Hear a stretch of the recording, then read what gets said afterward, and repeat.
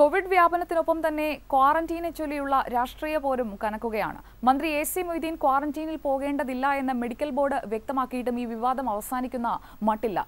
ഈ ആവശ്യത്തിൽ നിന്ന് പിന്നോട്ട് പോകില്ല എന്നാണ് ഇപ്പോൾ കോൺഗ്രസ് പറയുന്നത്. മന്ത്രിയുമായി ഇടപഴകിയ അഞ്ചു പ്രവാസികൾക്ക് രോഗം സ്ഥിരീകരിച്ചതിനാൽ മെഡിക്കൽ ബോർഡ് തീരുമാനം പുനഃപരിശോധിക്കണമെന്നാണ് ഇവർ ആവശ്യപ്പെടുന്നത്. ഇക്കാര്യം ചൂണ്ടിക്കാട്ടി അനിൽ അക്കര എം തൃശൂർ ജില്ലാ കളക്ടർക്ക് കത്ത് നൽകി.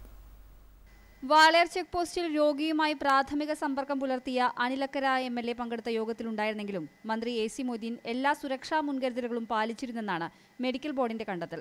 രോഗലക്ഷണങ്ങളില്ലാത്ത അപകട സാധ്യത കുറഞ്ഞ ദ്വിതീയ സമ്പർക്ക വിഭാഗത്തിലാണ് ഉൾപ്പെടുകയെന്നും മന്ത്രിക്ക് ക്വാറന്റീൻ വേണ്ടെന്നുമായിരുന്നു ബോർഡിന്റെ നിലപാട്. എന്നാൽ അബുദാബിയിൽ നിന്നെത്തിയ പ്രവാസികളുമായി മന്ത്രി ഇടപഴകിയത് മെഡിക്കൽ ബോർഡ് പരിഗണിച്ചില്ലെന്നാണ് കോൺഗ്രസിന്റെ ആക്ഷേപം. ക്യാമ്പിലുണ്ടായിരുന്ന പ്രവാസികളിൽ അഞ്ചു പേർക്ക് രോഗം സ്ഥിരീകരിച്ച സാഹചര്യത്തിൽ മെഡിക്കൽ ബോർഡിന്റെ തീരുമാനം പുനഃപരിശോധിക്കണമെന്നാണ് ആവശ്യം.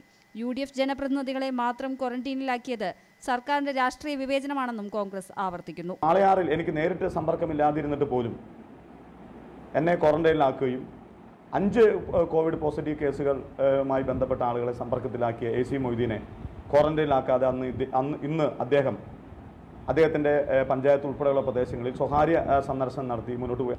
ഇപ്പോഴത്തെ സാഹചര്യത്തിൽ അടിയന്തരമായി മേസി മൊയ്തീനെ ഇൻസ്റ്റിറ്റ്യൂഷൻ ക്വാറന്റൈനിലാക്കണം. അന്ന് ഗുരുവായൂരിൽ സന്ദർശനം നടത്തിയ മുഴുവൻ ആളുകളെയും ഇൻസ്റ്റിറ്റ്യൂഷൻ ക്വാറന്റൈനിലാക്കണം.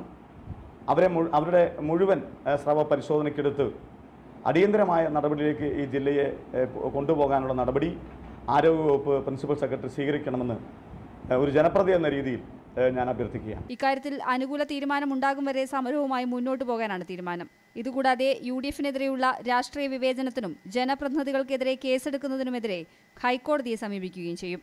ഏഷ്യാനെറ്റ് ന്യൂസ് തൃശൂർ.